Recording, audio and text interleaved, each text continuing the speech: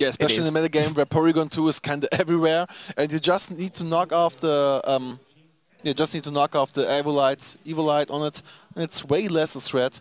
But uh, yeah, like we said before, this is a team from both players.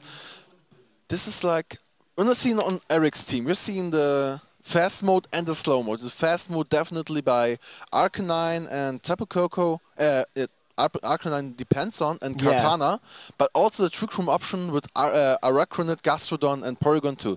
But seeing Araquanid and Gastrodon in the same team is kind of weird because you can't have both on the field because you're just absorbing your own water type moves. Yeah, I, I, I can't really imagine a scenario in which um, Eric Rios would bring the uh, Gastrodon uh, because uh, Tom isn't running any water Pokemon on his team, so I think Araquanid is probably more likely to make an appearance here. Yeah, definitely because but like like I said, it's very uh, interesting to see two type of water Pokemon in the team, and the Gastrodon and the Araquanid. So I'm pretty curious to see what kind of Araquanid and Gastrodon this is be. Maybe it's like a attack, uh, really a attack where you have both just to boost all the time your uh, your own Gastrodon with stockpile, Z stockpile, and water type moves to get in the end one fat, big, bulky Pokemon you can't get through it. Yeah, but we're going to be jumping into this game. Uh, Eric Rios versus Tom Plater, and we are going to, are we going to be seeing their lead soon, hopefully? Yes, we see a lead of Incineroar and Tapu Koko on Tom Plater's end, with uh, Porygon 2 and Kartana on Eric Rios's end. We have a classy star, fast start and a Porygon start. So, uh, getting, yeah, the pretty much fast mode here. Tapu Koko and Incineroar doing a, a, very good job here because Kartana can't do anything big because uh, Kartana can't hit uh, Incineroar too strong. Uh, it shouldn't be even enough to take a KO even with the... Um, what's the fight move? I'm sorry? I'm sorry? The, uh, the, the fighting with the Sacred Sword. Thanks, man. Yeah, it shouldn't be even enough, so I see definitely Thomas Plater here in the better position. Uh, he's probably want to stop the Trick Room. So seeing the Protect on Kartana here, Pretty sure he's going to bring up this Trick Room to bring a slow mode, but we are seeing the Volt Switch kind of into the Kartana here. But do we see the Porygon too? Uh, great play by, by Tom here, especially if we see uh, the Trick Room. But we don't see the Trick Room, we just see a simple Ice Beam onto that Tapu Koko, breaking the potential Focus Sash. And the freeze! The freeze! We already have an upset turn one of this tournament. Turn one, first match after all, now the freeze. Okay, okay, Th Thomas seems still cool because when you get freezed... Okay, I, now I'm very curious how Eric wants to play, because the quality of a player is like how you act when you're freeze, because the best thing you can do when the Pokemon is freeze, act like it's not freezed. Because when you're ignoring the Pokemon, it would always turn off and kick your head. It's very difficult. Yeah, especially, like, I mean, the freeze can uh, can go away immediately. We see the Kartana switch out. It's not an Assault Vest as we saw the Protect there. And we see the Arcanine switch in for the Intimidate ability. It's going to reduce the attack on the Arc on the Incineroar, especially because that Tapu Koko is potentially not a threat anymore. And no no movement from that Tapu Koko as it stays frozen. And we do see, I believe that is the Flare Blitz onto the uh, Arcanine start. It's not going to take very much damage. Great switch by Eric Rios. Yeah, very great uh, predict. Uh, just doing a safe spot and still not going for the trick room. Maybe he's not running trick room, but not going for it. Just taking care of the Tapu Koko. And this is what I said. This is what you see a very uh, qualified player. Don't ignore the, uh, the freeze. Just act like the freeze is there, not there, and just keep going, attacking Tapu Koko. Because um, he had still the option just to double target the Incineroar or going out and just target the Incineroar. But Tapu Koko is always a threat, if it's freezed or not, so you don't want to get sure. But we are seeing the switch out from Incineroar into the Tapu Lele here, switching yep. the fields. It switches into the fields, uh, putting up that psychic terrain, uh, maybe uh, um, protecting from extreme speed. What we so see no extreme speed, you just see the ice, uh, the Flare Blitz into the uh, Tapu Koko slot, knocking it out. Meanwhile, what are we going to see from the uh, Porygon 2? Uh, we just saw a switch from the other, from Tom Plater's partner's Pokemon, and we just see a uh, which is the Thunderbolt onto the Tapu Lele. It's going to do a little bit damage. Uh, maybe wanted to get a little bit of a boost with the electric terrain, but uh, not going to happen in the psychic terrain. Nice, but anyway, uh, very good to uh, to know for Thomas now, having the Bolt Beam combination of Ice Beam and Thunderbolt on Porygon 2 makes it uh, a lot more easier to predict what kind of set it should be. So if it's a Trick Room, then Recover is definitely the fourth move. So you definitely know what kind of Porygon he's running. This gives you uh, a little advantage here, but bringing the Incineroar back in having again the taunt pressure, but uh, there still should be one turn off on the taunt on the Porygon 2, so not hurry. But Incineroar against Arcanine. Arcanine is, uh, in my opinion, by far the stronger Fire-type Pokemon, thanks to the ability of Intimidate. Yeah, but we do just see a simple Psychic onto your Arcanine slot. It's going to do a lot of damage. That's enough to KO it! That must be a bo damage boosting item, either a Life Orb or a Choice Specs. And we see the Taunt again onto the Porygon. You did say that the Taunt did run out. Uh, so, what? and we see no Trick Room. Sigh of relief from Tom there. Uh, uh, guys, I'm sorry for the miscalculation here, not counting the turns right. But what did we saw here? We saw the Arcanine versus Tapu Lele. This is kind of um, one of the most thing you can see when you're running Arcanine or Tapu Lele. It's always how how much speed or how much yeah how much speed are you invested because both Pokemon are when you're investing in attack or special attack able to get the KO on, on, on each other. So it's important what Pokemon is faster. So uh, I don't see we saw an item on Tapu Lele, so maybe we're seeing something like... Did we saw the item? We didn't, right? No, we didn't. I mean, did a lot of damage. I, I, thought it was going to be like a Life Orb or maybe Choice Specs, depending on what the build on the Arcanine is. If it wasn't a bulky Arcanine, then maybe it was, it's just a simple, maybe a Shattered Psyche. I don't know, but I'm excited to see. But we just see the Incineroar switch out, the Kartana comes in for that slot instead. We see the final Pokemon on Tom Plater's end, and Porygon 2 switches out, not wanting to be taunted, and the Kartana comes out for it, while Tom Plater nods his head there. What do we see? A simple Protect from the Araquanid. Tom nodding his head there. A decently safe played. No way to really punish that, except for a Psychic into Kartana, but we just see it go straight into the protecting Araquanid. Yeah, Thomas Plater, I like the way how he gets he gets Brick in because he lost the Tapu Koko for kind of nothing and still gets himself in a better position right now because having Kartana against uh, Araquanid is, is solid, but also it's just an easy switch in for an... But no switch in, we see directly in the Psychic not doing a half damage. Yeah. But a Leaf Blade, a double target into Araquanid is enough to take a KO. Yeah, that's a big KO right there. We did see a Choice Scarf on the on the Tapu Lele actually. A Beast Boost on the Kartana with the life with the Leaf Blade KOing it. And we see a Smart Strike in response. It will be able to KO the Tapu Lele in response. And we see a Beast Boost there as well. So we're left with the Incineroar, the Kartana, the Kartana, and the Porygon 2.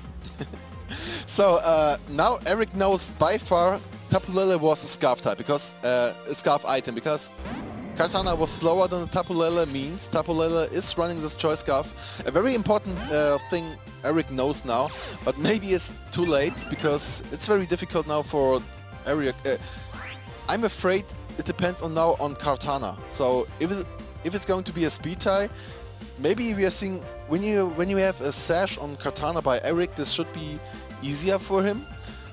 But Ah, difficult, man. It, it could be difficult. Yeah, definitely. I mean, that double target was such a huge one right there.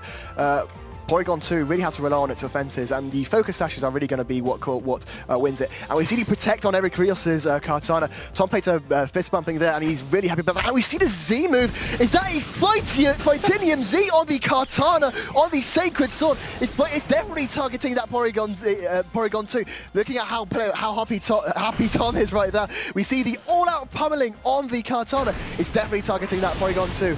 Uh, how much damage will this do? I'm super curious to see. It, it should be a K. It should. We have. We are in a plus one. It should be a.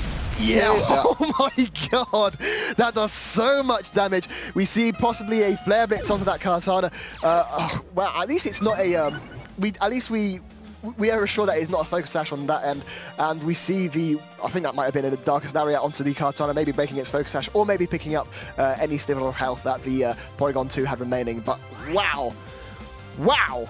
Absolutely wow, and there's so much information Eric and Thomas get right now from the first uh, match here right now because knowing your Kartana, it's maybe a speed tie right now and yeah, you're faster, maybe a speed tie, so you maybe oh. know it oh. better. So yeah. Sacred Sword does uh, KO the... Um, now uh, let's see if you're going to see a sash, because when we are seeing the sash, it should be uh, a speed tie. And here we see the Sacred Sword into the Kartana. Oh, it's a speed tie! It comes down to the speed tie. Neither of them look happy about this. Wow. Oh my gosh, this is the best game of this tournament. It's coming down to the wire.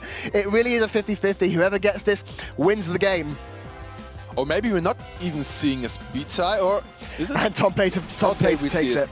Yeah, it was a speed tie. Uh, you know, Tom Plater, it, very close game. Excellently played by both by by both people. You know, Eric Rios got a little bit lucky with that ice beam freeze, uh, turn one, but wow, what a performance from both players. What a performance, yeah, but I'm, I'm thinking about when you're playing not Sash or not Assault West, you have to you have to invest in bulk. So maybe Thomas is investing bulk in the Kartana so he don't run max speed. I'm not sure because uh, losing two times the speed time, maybe this is an indicator because Eric don't know it for sure, but uh, Thomas knows it. Thomas knows exactly the speed stat of his own Kartana, and now he's knowing. Okay, he's maybe maybe he was a speed tie, but maybe he's running just a little bit of speed, so he knows by far. Okay, he is had exactly the maximum speed. Yeah. What's most likely usual on the choice uh, on the focus session. Yeah, those Kartana speed ties, they're rough. I mean, yeah, let's just recap their teams. Eric Rios is running a team of Tapu Koko, Gastrodon, Arcanine, Kartana, Porygon 2, and Araquanid, while Tom Plater is running uh, Kartana, Incineroar, Mandibuzz, Tapu Koko, Tapu Lele, and Garchomp. Now, we didn't see the Gastrodon on Eric Rios' end because we correctly guessed that he would bring the Araquanid instead. It's just better in, in this scenario. It is, yeah, but uh, it's always Gastrodon had kind of usage in London, but now less because Kartana become a thing, and you don't want to have a Kartana uh, in Gastrodon when your Kartana is out there because you can have like four Intimidates on it, it's still a KO. Yeah, that's true. Uh, Eric Rios is running that pretty standard Kartana, but that Fightinium Z Kartana on Tom Plater's end, really, really exciting. I'm, I'm excited to see uh, what else, uh, what, what other tricks uh, Tom Plater might have up his sleeves. Uh, I don't know how either player can really adapt in this scenario. Uh, pardon? I don't know how either player is going to adapt in this in this scenario. Yeah, well, I think Eric got more information from the last round. So uh, starting here, now we're seeing the Gastrodon we talked about. Uh, maybe the Yeah. better position because uh, Tapu Koko likes to be a leading Pokemon because it's no no much switching option because yeah. Yeah, we get the special attack from the download on Porygon 2. The Gastrodon making an appearance here. Uh, Tapu Koko, Incineroar lead on Tom Plater's end, while Porygon 2 and Gastrodon is the lead on Eric Rios' end. Um, I mean, now Porygon 2 can't set up the Trick Room because the Taunt is an option. Um, but with the Electric Terrain, Thunderbolt might uh, make an appearance. But we just see the Porygon 2 switch out immediately in favour of that Tapu Koko. A Tapu Koko that's taunted isn't really a threat, really. Uh, and we just see the sort of which is a fake out, breaking a potential focus. Actually, no focus sash on the Tapu Koko. We saw in the Kartana. And we see a Volt switch into Tapu Koko, doing a bit of damage. That took it very, very well, even despite the resistance. Um, and what do we see? Uh, Tom Plater switch in on this on this uh, on this free one. He seems pretty confident with his choice, and it's a Tapu Lele. It's going with the scarf. That's actually brilliant switch right there. It's going to set up the um, psychic terrain, removing that electric terrain from Tapu Koko. Meanwhile, what do we see from this Gash? Oh, a Z move on this Gastrodon. What is this? Is this the? Uh, this is this is a tectonic rage on Gastrodon uh, from the earthquake. Uh, it's probably targeting that Incineroar maybe. Um, yeah, Barrena Telúrica in Spanish. And yeah, I think that's a target onto the Incineroar. Let's see how much damage this does. Will it be enough to KO? Uh, I'll be very curious to see. Uh, going to the center of the earth there, and it's... mm, Yes, it is enough to KO the Incineroar right there. It should be easy enough, but uh, this is a physical type Z move. It should be because there's no access for Earth Power in this meta game for Nope. Gastrodon. So um, Earthquake is, I think, the next strongest uh, ground move Gastrodon learns. Maybe Bulldoze, I'm not sure, but it should be Earthquake. So um, should be easy KO, not eating any Intimidate, so easy go. But now we're seeing the Kartana and the Tapu Lele. Tapu Lele, now we know, both players know the choice scarf here, so having the fastest Pokemon on field, but fearing that, switching out the Tapu Koko and bringing in the Porygon 2. I'm not sure if I'm okay for the play, but it's okay getting a special attack. Yeah, we just see a simple double switch on Eric Rios' end, not wanting to take any sort of leaf blades from the Kartana. The Intimidate is going to hit the Kartana quite uh, quite well there. Um, and we're probably going to see a big Psychic onto one of these slots, probably the Porygon 2 slots as uh, the Tapu Koko was sitting there before. It's going to do decent damage actually to the uh, Porygon 2. And a Leaf Blade onto Arcanine, no critical hit there, and it doesn't do very much damage because of the resistance. So now it's a question how how much Thomas played with the Phydium Z Kartana. So uh, he's at minus one attack, getting the Intimidate drop on it, but is Kartana able to get the KO with the Z move on Porygon 2? So I would I would say no, because there's no stab, there's no... Sacred Sword is kind of okay move, 80 base percent, but uh, th th there's like the... I don't know, I, I don't know really. Yeah, I mean, uh, yeah, it comes down to whether the Sacred Sword is enough to pick up the KO on Porygon 2. The Arcanine doesn't really want to take a Psychic, as we saw it took, didn't take it very well at all. But we just see it simply switching out for a Tapu Koko. Uh, very, very not quite risky actually because the electric terrain is going to go up and the uh, Arcanine will be kind of safe from the Psychic actually and we do see the Psychic onto the uh, tap onto the Tapu Koko slot takes it decently well and we see a uh, all-out pummeling on the Kartana it's probably target what did it target? I'm actually curious to see, uh, because if it's into Tapu Koko, it's going to be a little bit of a waste because the Tapu Koko has no health there. Uh, interesting that double target, actually. Um, but yeah, all-out pummeling. Do we see it onto the Arcanine? No, we see it onto the Tapu Koko. It is going to be enough to KO it, um, pretty definitely. And it's... yeah, yeah, it goes down that health bar falling very slowly. It makes you very, very nervous. Um, but yeah, Eric Rios is, is playing this one very well. Yeah, it was a really good turn because uh, switching Porygon 2 is just like the, the wall in your team. So just want a saving in it, but let's just finish the turn, guys. Seeing the Flare Blitz into the Kartana, easy KO, no need much talk about. So let's just talk about the, uh, the play Eric was doing. So getting your Tapu Koko in had like two big advantages. You get away from the Psychic terrain, you get your own terrain up, so Psychic shouldn't be enough to get the KO on Arcanine anyway. So it's just easy for Arcanine to hit up on the Kartana. Uh, just seeing Thomas wasn't ready for the play from... Yeah, he just thought like he was bringing up the Trick Room, but still don't know if Porygon 2 is running Trick Room or not. Yeah, that's true. I mean, we did see we did see the Trick Room actually get taunted away there, um, but Arcanine, it took so much damage in recoil there. It like it took it like 30% from damage. Maybe it's maybe it's not a bulky set at all. Yeah, that's right. Maybe it's, it's, always difficult. Yeah, we. I mean, we could do uh, our calculator and calc it. but yeah, uh, Tom Tom Pace is really on the back back foot here. Porygon 2, if it sets up the trick room, it's over really. And we just see a Psychic onto the Porygon 2 target. It's going to do a little bit of damage. And do we see the Thunderbolt? Is it enough to pick up the KO? I don't think so. Uh, yeah, unfortunately not.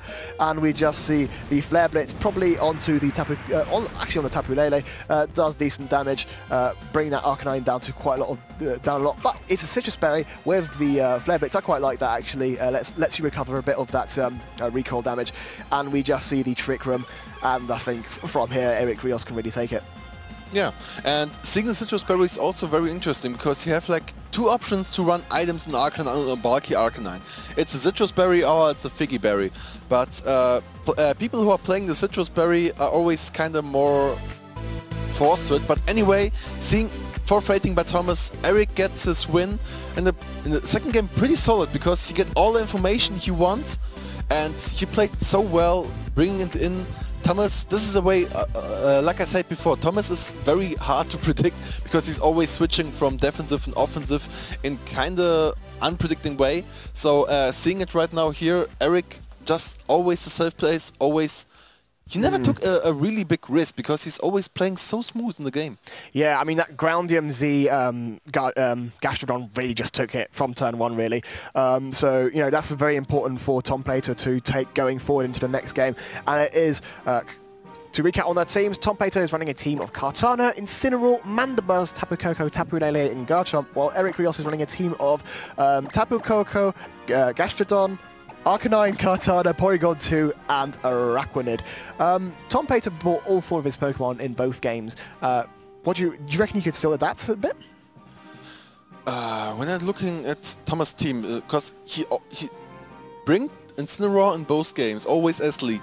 But knowing now the Groundium Z on Gastrodon, it makes it difficult for Thomas because I'm pretty sure Incineroar can easy stand a score and there's no burning chance. So get at least one shot to stay in uh, Gastrodon, but having the Groundium Z here such a huge threat for the Tapu Koko and the Incineroar, so um, Thomas need to find a way how he can deal with uh, Gastrodon, because you can lead you out Kartana, sure, But having an in the back makes always kind of easy, uh, difficult. So I'm pretty sure Eric is going to lead with uh, Gastrodon again. And having the Arcanine in the back, like every player, yeah, I mean, you know, you know how we were talking earlier about, oh, Gastrodon isn't very good in this matchup, is he? Uh, but like, uh, we we saw how much uh, trouble the Incineroar was causing to Eric Rios. So actually, fantastic adaptation to uh, bring along the the Gastrodon. I mean, we had no idea about that Groundium Z item, did we? No, we didn't because, uh, but this is this is this changed everything about because.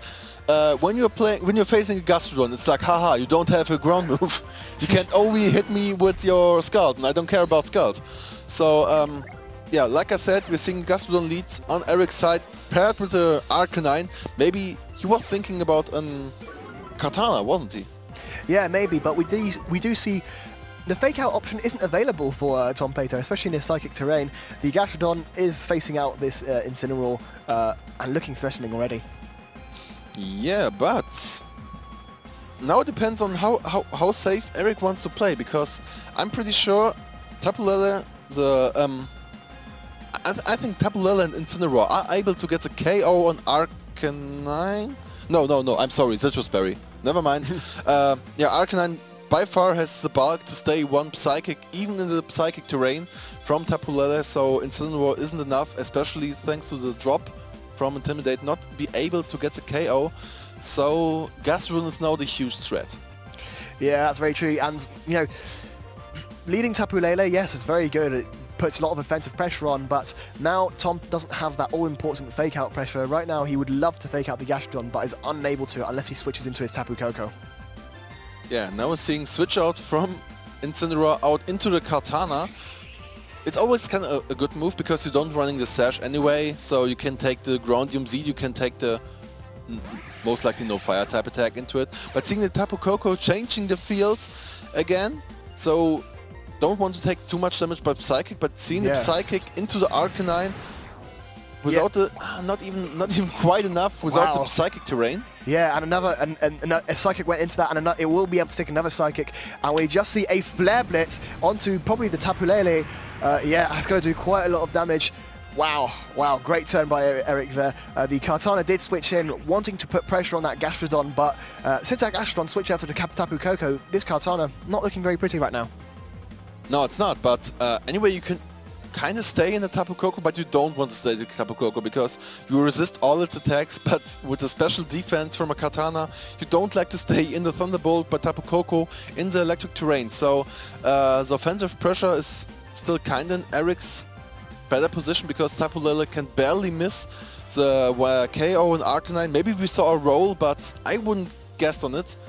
And maybe a single Thomas, but switching out from Kartana into his own Tapu Koko. Kind of good because always still a resistance against electric type attacks.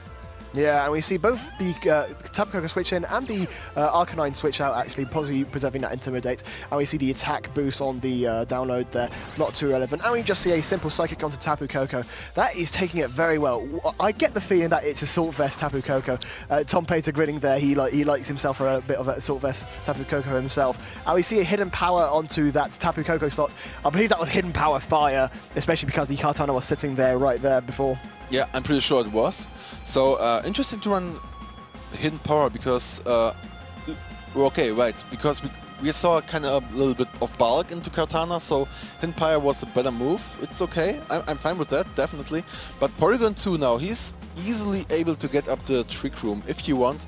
And I'm curious to see if you're going to see, because you saw the Assault Vest and uh, move what is very known for Tapu Koko, Ooh. it's a we see a psychic. Sorry, we yeah. see. A, sorry to interrupt you. There, we see a psychic onto the Tapu Koko. Does a lot of damage. Doesn't quite knock it out. And we see the Volt switch from Tapu Koko into the Porygon. Uh, and we see a free switch on Tom Plater here. He he has to switch into either Incineroar or Kartana. Um, and we see the Incineroar wanting to apply fake out pressure. Uh, sorry, you were saying. Yeah, I was saying if you're going to see a Sky Drop here, Oh, but unfortunately we're not because, like I want to say, uh, what I really oh. like to oh. see when you have the trick room and trick room and the fast mode, when you're running a Assault Vest Tapu Koko, you can run just the Sky Drop and Sky Drop one Pokemon and get up the trick room and just unable one Pokemon to attack for two turns It's kind of a very gimmicky way to set up your trick, uh, trick room, but it's always a cool way. But bringing now the trick room up from Eric's side, having the Gastrodon on field, the slowest Pokemon on the field, and I guess Yeah. No, no, no chance Thomas can be slower than uh, Gastrodon on his team. Yeah, absolutely brilliant trick room right there with the Tectonia, with the not the Tectonia, but the Groundium Z with the Tectonic Rage is going to do, especially in a trick room, is going to, you know, really deal with this Incineroar. This Kartana uh, does have the Leaf Blade, but in the Trick Room, it's going to be outsped by both the Porygon 2 and the Gastrodon, so a double target, especially because it's not Assault Vest, will, you know, KO it. So I really do not like Tom Plater's position here. No, I don't know. I don't like it, because Kartana shouldn't be able to get the KO from Porygon 2 or Gastrodon, so maybe we're seeing just a safe uh, fake out into Gastrodon, or maybe the double up into Gastrodon, or the double up into Porygon. So he now Thomas need to be a risky. So we've seen the protect on Gastrodon and uh. not happy on Thomas when you see on the right side. So most likely the fake, yeah. was it a fake out? Yeah. There's a fake out target onto the Gastrodon hoping to get a, get a cheeky KO on that. Um, but we just see a simple Ice Beam onto the Kartana, does a lot of damage, and a Leaf Blade there. Yeah, that's... I think that was Tom Plater's out there. Uh, a bit unfortunate, but what can you do? Yeah, this was uh, the legendary coin flip predict. Am I doubling up into the Gastrodon or doubling up into a Porygon? Because both was an option. Uh, doubling a Gastrodon would be the better result, so safe play by Eric just protecting and trying to attack with Porygon into the Kartana. But seeing not the double KO, so we have to see from Eric a double up into Kartana. Mm, possibly. I mean, we should have because Kartana is able to get probably a KO on both Pokemon. Yeah, that's true. Incineroar isn't really a threat here, and uh, Eric can really deal with it anytime he wants as long as he keeps the Gastron out on the field. And to do that, he needs a Kartanagon. Yeah, probably seeing a switch out from Gastron into an Arcanine for just another safe play. And I'm pretty sure Eric is going for that because there's no reason not for doing it. But, oh, yeah, we see the Incineroar switch out to preserve that fake out probably into the Tapu Koko. Um, and we see the tech, uh, the tectonic. Oh no, sorry, we see the all-out pummeling uh, because the Gastrodon did. Is this a reversal of a trick room? Did we see? Did we see the uh, the Porygon 2 move? Uh, Tom Platers grinning there. Oh, it's Z detect. what? what does this do? I'm not entirely sure what that does. and we see this scored onto.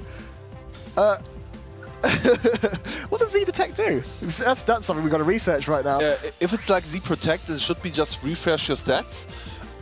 Oh, no, no, I get it, I get it. Because um, I, I, was thinking about switching out Gastrodon into the uh, Arcanine, and Thomas was like predicting the same turn. So getting your Intimidate off onto Kartana and doing the Z move detect refreshes it, and you lose your uh, drop. But seeing from one Z move into another Z move, but this time in the ground rage, seeing Gastrodon putting up his Z power for the Z move yeah, it's just going to target that Tapu Koko.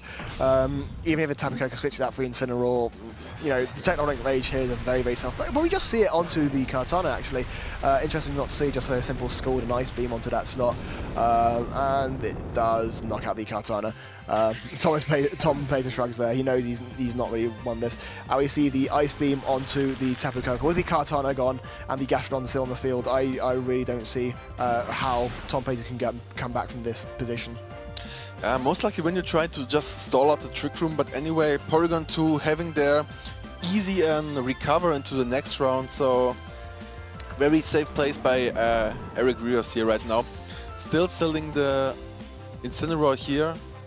Uh, even though fake out pressure you can stall out, maybe if you have Protect on Incineroar, uh, should be very difficult. Actually, a very clever play that Tom Plater did. That Z Detect, actually, we've just been told, boosts evasion. So he was playing on an out that maybe every single move would miss that Kartana, but every single move didn't miss, and, and especially with the uh, uh, Tectonium Z, uh, the Groundium Z Tectonic Rage from the Gastrodon being 100% accurate would uh, KO that Tapu Koko with the evasion boost anyway. So kind of move by Eric Rios, I think. Yeah, definitely. Oh, very good move. Yeah, this is both players from quality, knowing the tags, knowing the moves. So uh, kind of better prepared than we are. But I, I thought like protect and detect have like the same. No, uh, apparently not. And we just see the uh, earthquake there and a recover on the uh, Porygon there with the trainer waving at the Porygon just beforehand. Uh, with the earthquakes happening, and we see the uh, flare blitz onto the Porygon 2. It's not going to. It's really not going to do anything. Oh wow, that's quite decent.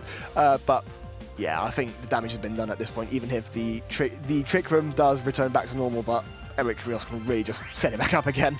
Yeah, easily. So, uh, still interesting to see that Eric still has all his four Pokemon, so this is the way when you have such a valuable team, you have like the speed mode and the slow mode, and when you're bringing up a slow mode in the third game so heavily and so good, so uh, I like this kind of playstyle because starting in the first match was kind of mixed up fast and slow, go in the second match with a little bit of the faster mode, and the third match in the slow mode. So it's very difficult to predict when you have a player who can bring up fast modes and slow modes in one team.